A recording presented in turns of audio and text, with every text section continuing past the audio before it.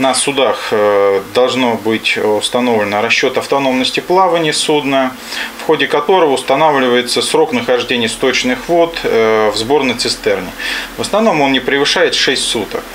В ходе проведения проверки на трех судах было установлено, что они не своевременно сдавали данные сточные воды на станции по сути, воду в Оке суда не загрязняли, однако нарушили законодательство по безопасности плавания. Инспекторы портового контроля задержали часть судов до устранения выявленных нарушений. За моей спиной находятся суда, не получившие разрешение Российского речного регистра на годность к плаванию. Также на судах, осуществляющих добычу песка и перевозку пассажиров, были выявлены такие нарушения, как отсутствие судовых и правоустанавливающих документов. Они вновь смогут пойти в рейс только тогда, когда все неисправности будут устранены. В то же время представителями службами инспекции государственного портового контроля по всей стране проводятся те проверки, которые, по словам президента страны Владимира Путина, позволяют улучшить состояние всего российского флота. Все суда, находящиеся в государственном судовом реестре, подразделяются по степени риска.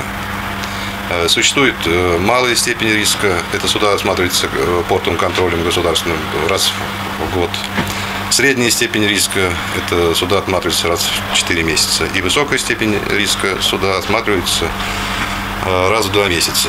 Считается, что средний срок службы судна 40 лет. Этот буксир-толкач «Плес» на ходу уже 43 года. Выглядит образцово-показательно. Как говорит капитан судна, все это стало возможно только благодаря тщательному уходу команды. На борту «Плеса» проходят ежедневные и еженедельные проверки. С 2012 года введена система управления безопасности судов, которая определяет все действия экипажа.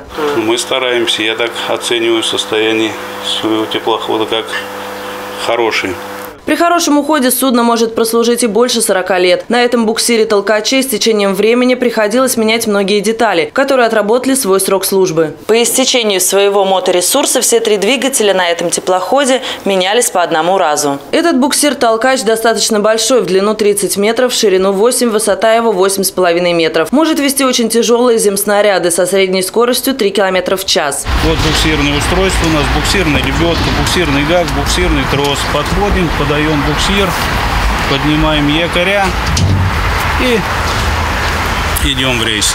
Капитан Плеса с удовольствием показал нам свое судно, не скрывая ни одного угла от выстрелов телекамеры. Кстати, название свое этот буксир-толкач носит неспроста. Плес – это участок реки наиболее благоприятный для судоходства, так что и у самого судна судьба складывается достаточно удачно. Хорошим примером эта команда может послужить тем, кто пока еще не так хорошо заботится о своем судне. Тогда и проблем на воде станет гораздо меньше.